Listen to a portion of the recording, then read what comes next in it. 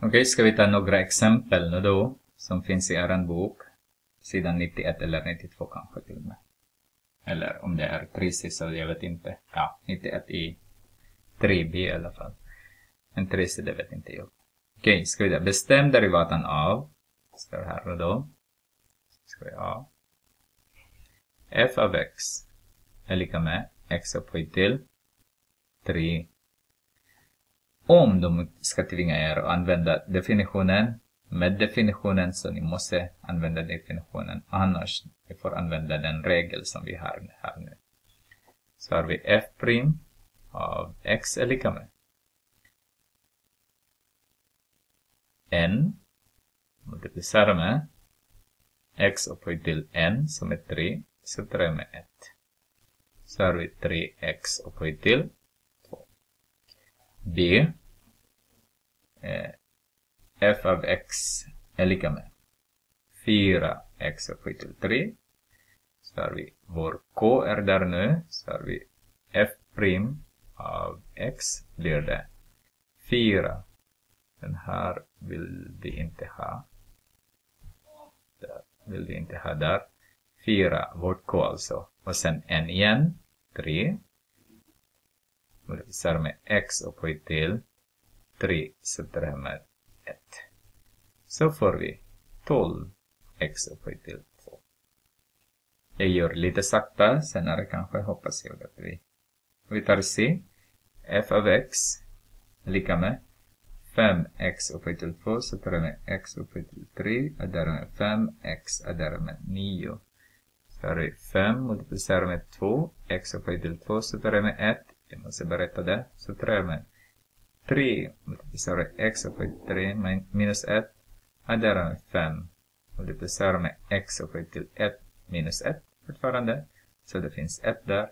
Adderar med 9 multiplicerat med x e upphöjt till 0 minus 1. Som vi har sagt innan. Alltså det finns den här som är 1.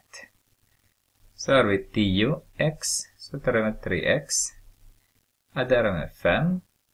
Och den här blir 0. Vi sa det där, 3 upphöjt äh, nej, x upphöjt till 3 minus 1, det måste vara 2 där.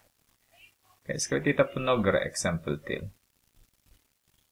Vi säger f, f'3 om, vi skulle leta efter f'3 om f av x är lika med 5 är därmed 2x, så 4x upphöjt till 2.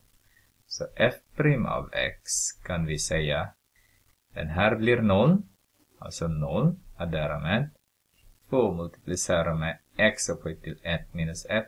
Jag skulle ha sagt redan att det är vara 2. Subtrahera med 4 multiplicerar med 2 multiplicerar med x upphöjt till 2 minus 1. Så har vi k n där. Det här är vår k. Det är samma sak där. Vad jag inte gjort här är det på grund av vi har ingen, ja. Så vi har, vi har ett där egentligen. Eh, jag hade fel här va? Jag har inte visat att det ska vara noll där. Jo, det ska vara noll där. Ja, förlåt det. Då har jag 2x. Så tar det här med 8x. Nej. Det är bara två där.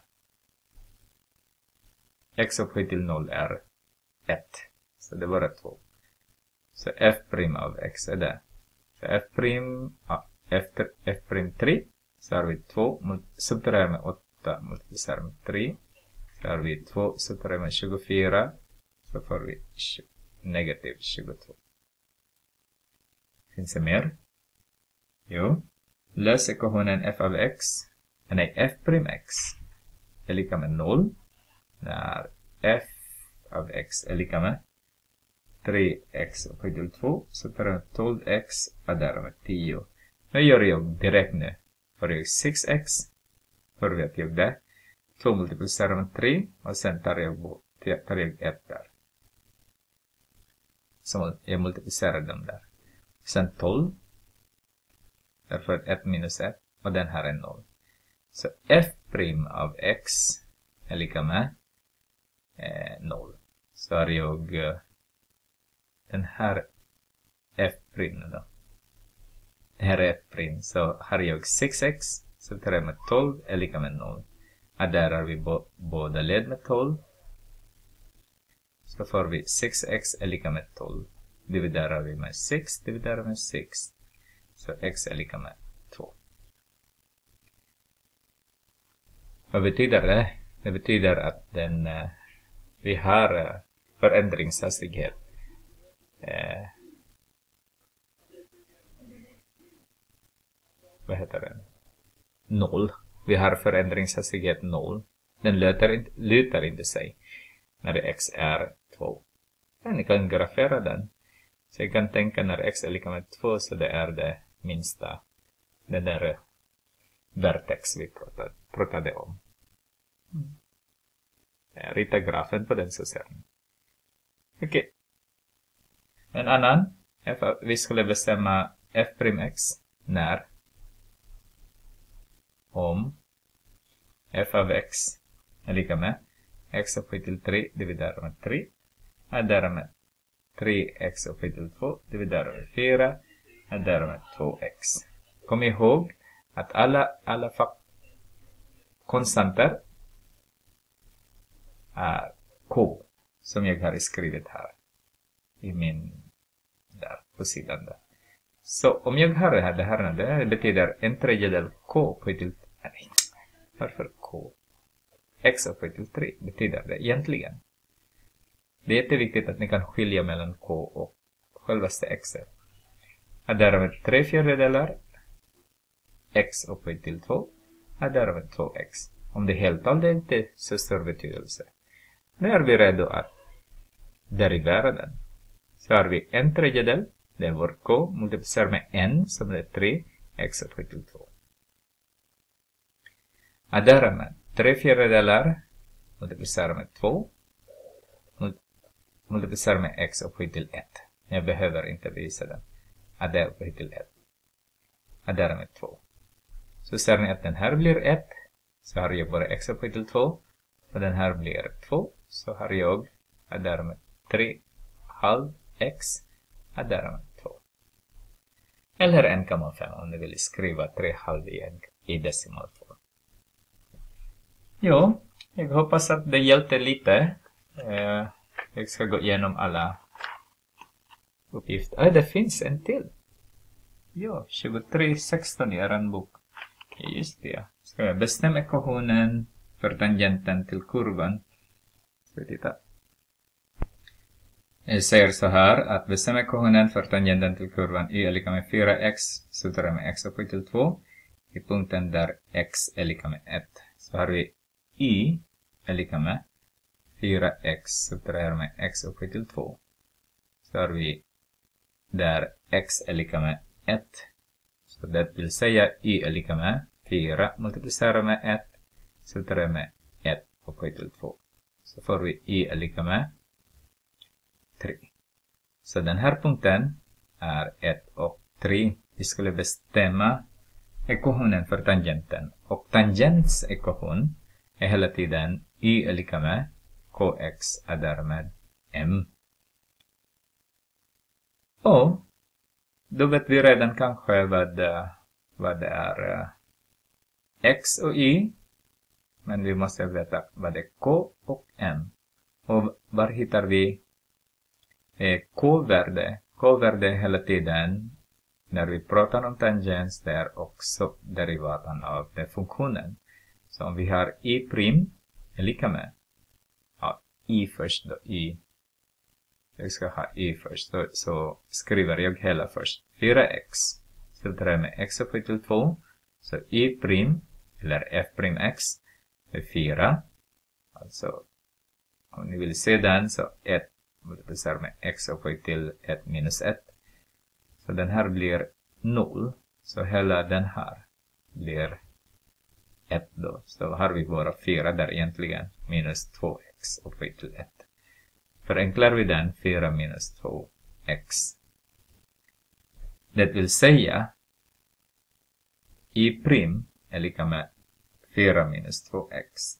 Om vi vill använda x är lika med 1 så får vi kanske i prim i prim är lika med 4 multiplicerat med 2, alltså 3 med 2 multiplicerat med 1. Då får vi 2. Vad är det här 2 nu då? Det här är vår y prim.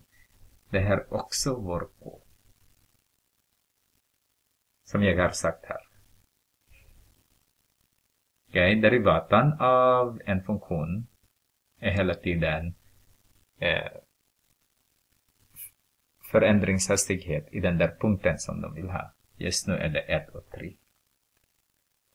När vi är klara med den så använder vi fortfarande den där så har vi y är lika med kx och därmed m.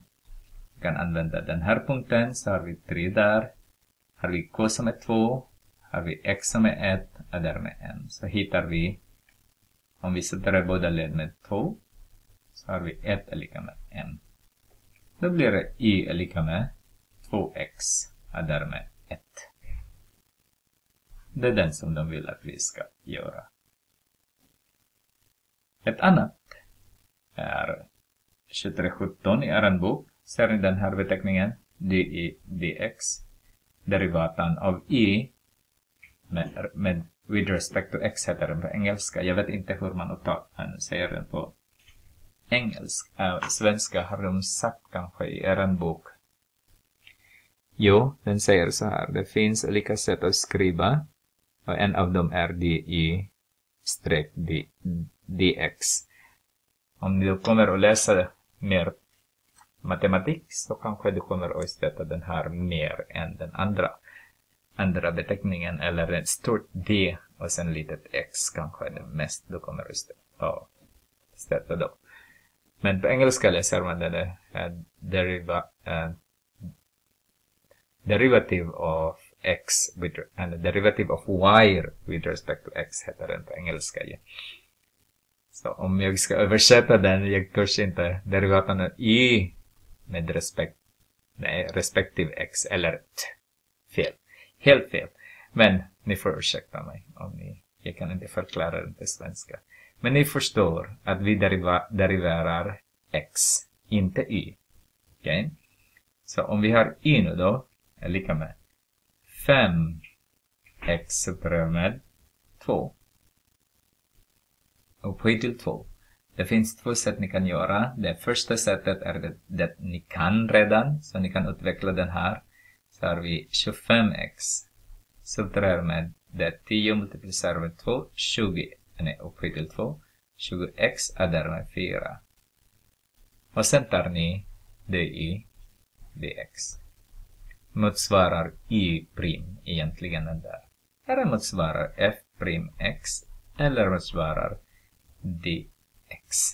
Men vi ska göra på den beteckningen som de vill att vi ska göra. Så har vi dy genom dx är lika med.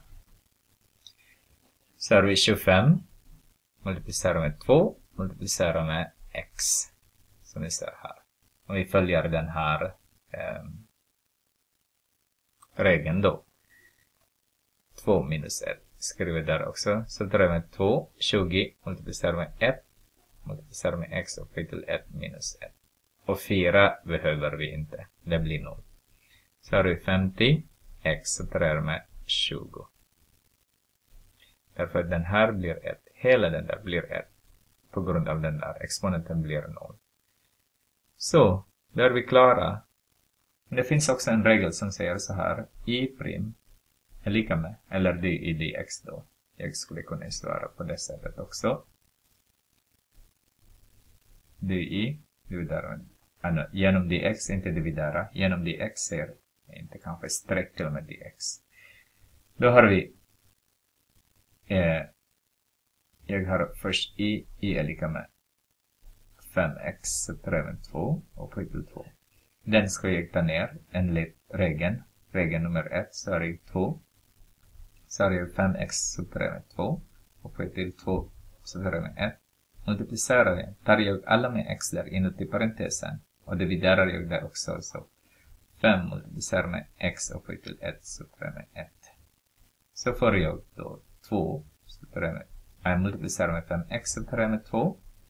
Subtraherar med, den här blir 1. Så har jag bara 5. Så har jag 10 Reducerar 5x subtraherar med 2. Så får jag 50 x subtraherar med 20. Så vi fick exakt samma. Men den här är lite avancerad i den här nivån. Men om ni kan så ni kan, så är det bara. Ni kommer att studera den ändå senare, förr eller senare. Jo, för jag hoppas verkligen att ni fick lära lite i alla fall. Väldigt, väldigt lite kanske. Tunt, tunt, tunt. Jag går igenom inte så bra kanske. Men jag hoppas att ni har lärt er lite i alla fall. Och jag ska gå igenom alla uppgifter i boken som ni tycker eller uh, om ni känner att ni behöver mer förklaring så ja, de är tillgängliga lite senare. Ha det bra!